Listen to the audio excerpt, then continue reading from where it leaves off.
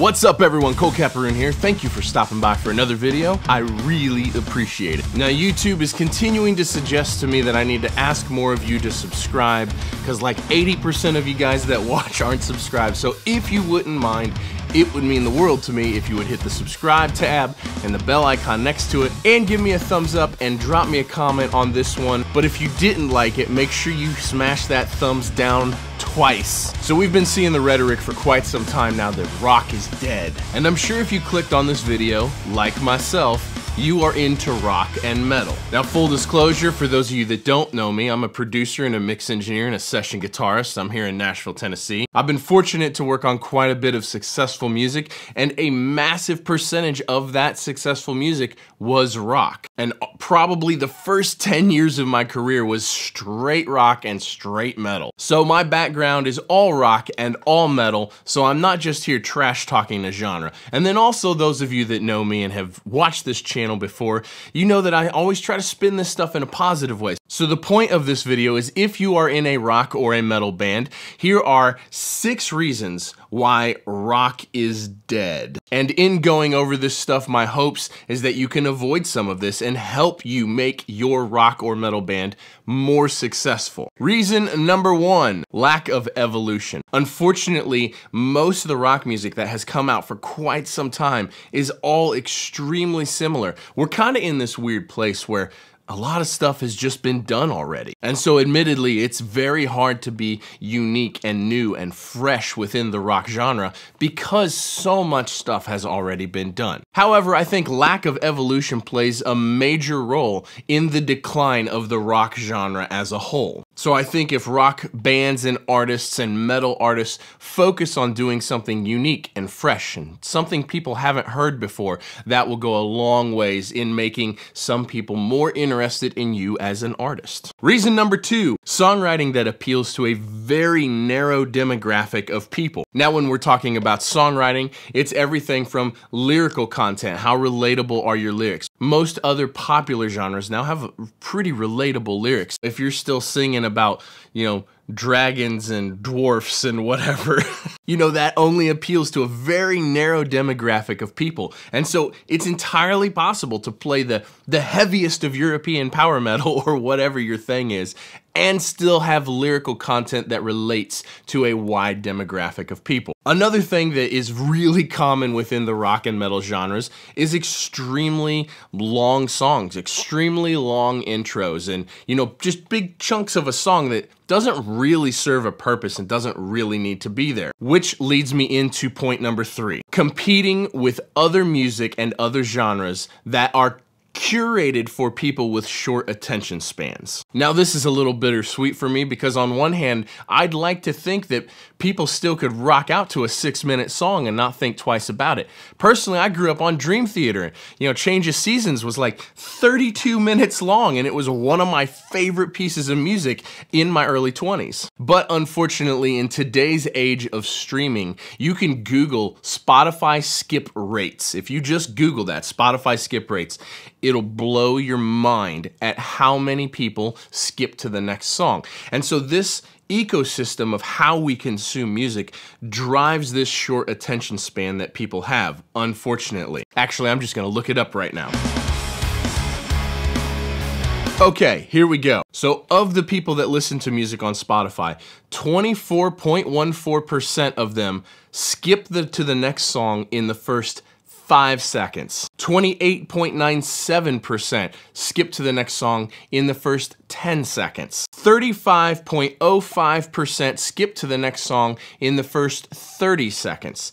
And 48.6% of people skip to the next song before the song is over. Now, if you're out there watching this and you're going, these stupid kids and their stupid streaming and the stupid cookie cutter songs and brah, I don't necessarily disagree with you, but it is the world that we live in right now, and this is absolutely playing a role in the downfall of rock music. Those minute and a half long intros before we get to the, the first verse, before the first lyric is even sung, is going to play a major role in how many people are willing to consume your music. And so I think something that's really important right now is always giving the ears something to listen to, making sure the listener never gets bored and never wants to hit skip. Now, oftentimes what this means is we just, we get to the first verse like right away, and then we get to the first chorus within 60 seconds. And that's kind of like the formula. But I do believe that there's room to just be creative and just make sure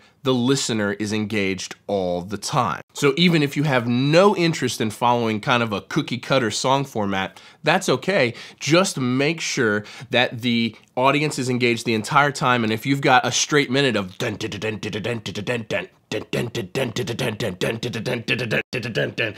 if you have a minute of that, everyone's gonna hit next. All right, reason number four is lack of revenue created by the genre is forcing other people into other genres or out of the music industry altogether. Now, this is a really complex one to unpack, so I'm not gonna go too deep into this. The combination of streaming hitting and these Spotify skip rates that I just talked about and the lack of evolution within the rock genre, all of these things are kind of coming together to play into the downfall of rock music. And unfortunately, because rock is becoming less and less of a financially viable option, it's forcing a lot of people either to just go get day jobs and throw in the towel, or it's forcing them into other genres like country and southern rock and like just into other genres, EDM. Like there's a ton of metal dudes that are now doing EDM because it's way easier to get traction in EDM than it is in metal. And so I think being extremely smart with your finances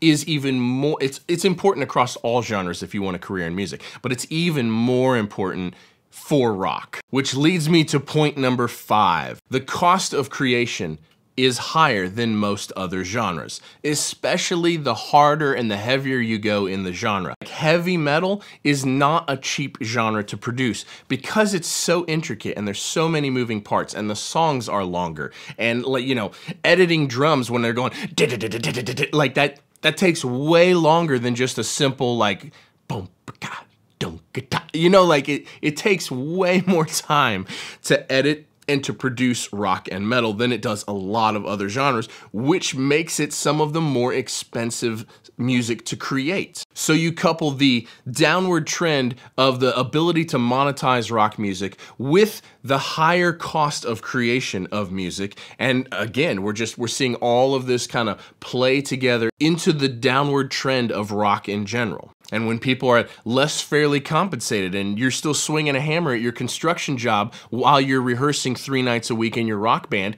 it's hard to put as much time into evolving into being creative. It's hard to just get off the ground in rock and in metal because of all of these things combined. The last one, number six, is lack of professionalism within the genre. Now, I'm not here trying to actually trash talk people within the genre. Again, my background is all rock and all metal. And some of the most successful music I've ever worked on in my career has been rock and has been metal. But unfortunately, kind of due to the the attitude that you have to have in order to be in a rock band or in a metal band, there's always a little bit less professionalism than there is in a lot of other genres. Now, sometimes this lack of professionalism is literally like etiquette and how you conduct yourself, you know, within the studio or within uh, on stage or whatever.